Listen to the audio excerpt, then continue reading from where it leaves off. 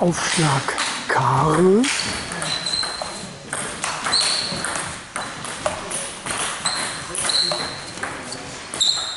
Rückschläger Heiko Lechner. Jetzt schlägt er auf der Heiko. Spielt fast alles mit der Rückhand. Und die ist ganz unangenehm. Da kann er aus den seltsamsten Positionen, ganz krumm noch,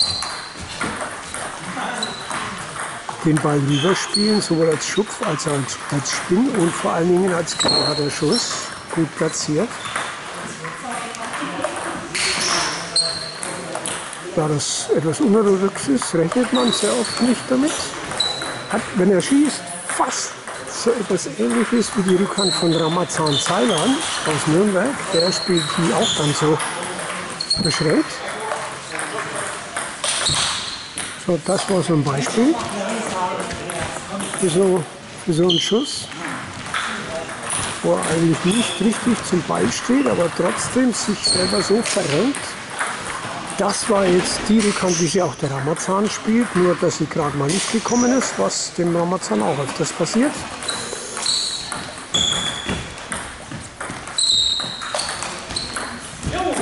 Tschüss.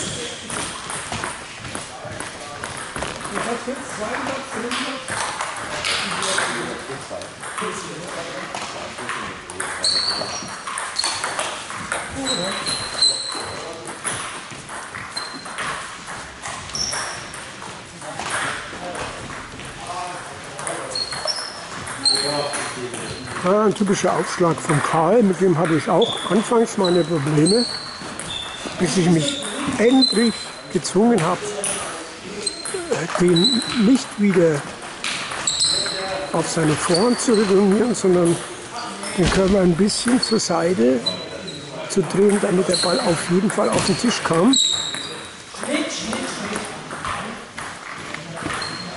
In den ersten beiden Sätzen habe ich den immer ganz knapp links rausgespielt. Habe ich dann auch prompt beide in der Verlängerung verloren. Aber die anderen drei dann gewonnen. Knapp, aber ich denke, der Knackpunkt war, dass ich einfach die Aufschläge dann etwas konsequenter auf den Tisch gespielt habe.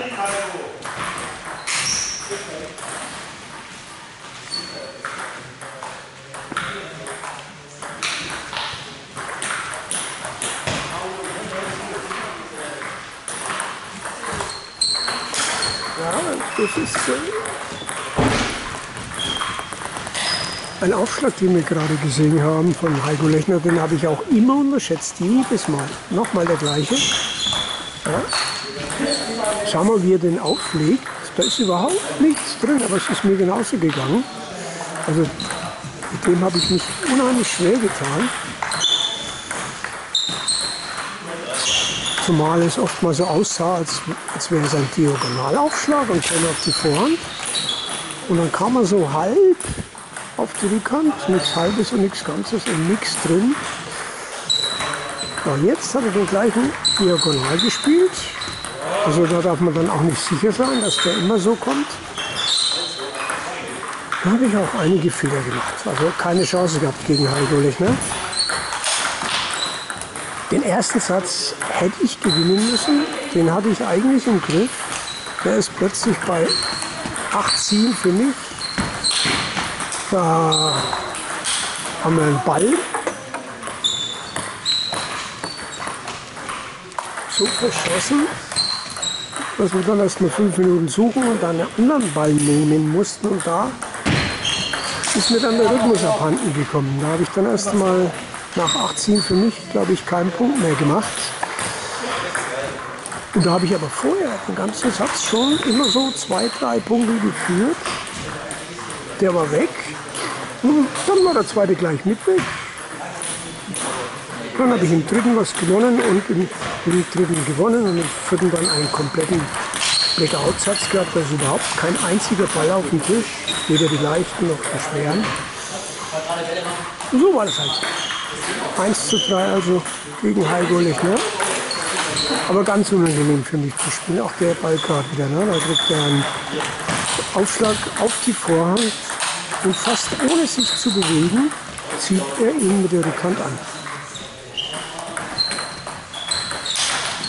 Eben wieder zu sehen, wieder von der Vorhandseite aus. Rückhandschuss.